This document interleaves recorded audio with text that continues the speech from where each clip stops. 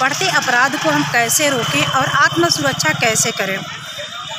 वाराणसी ज़िले में चोलापुर थाने पहुँचे राजकीय विद्यालय के बच्चे ने तो चलिए हम जानते हैं आज उन्होंने इस थाने से क्या जाना और कैसे करेंगे आत्म सुरक्षा आज यहाँ किस थाने पे आए हो? यहाँ हाँ चोला क्या उद्देश्य था इसका? क्यों आए थे? आप क्या देखना चाहते थे? हम लोग यहाँ पे कुछ सीखने आए हैं। क्या सीखा है? आपने यहाँ पे जैसे हम लोग को कोई अपराध करता है तो यहाँ पे यहाँ पे गिरफ़्तार हो जाता है।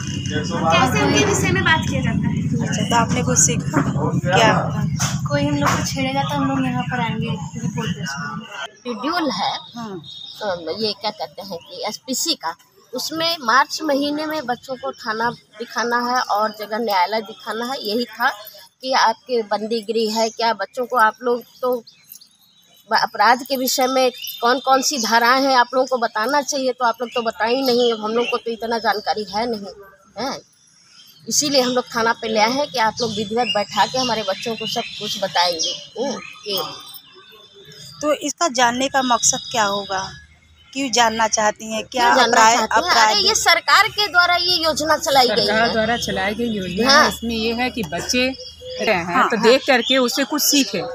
इसलिए बच्चों को हर एक चीज़ से जानकारी जानकारी होनी चाहिए। कितने बच्चे ने आज आए हैं या क्या क्या सीखा आज है? आ, आज बच्चे आए हैं तो यहाँ पे क्या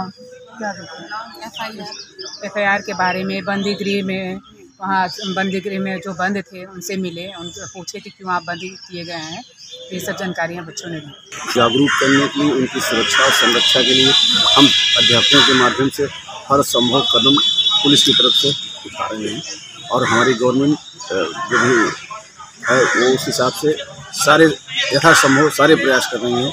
जितने ही ज़्यादा बच्चे हमारे समाज में सुरक्षित रहेंगे हमारे देश का भविष्य सुरक्षित रहेगा। हमारी मातृशक्तियाँ जितनी सुरक्षित रहेंगी वो हमारा देश उससे सुरक्षित रहेगा, हमारा समाज से सुरक्षित रहेगा, और अमन चैन होगा, यही उत्तर प्रदेश पुलिस की खबर लहरिया, आपकी खबर, आपकी भाषा।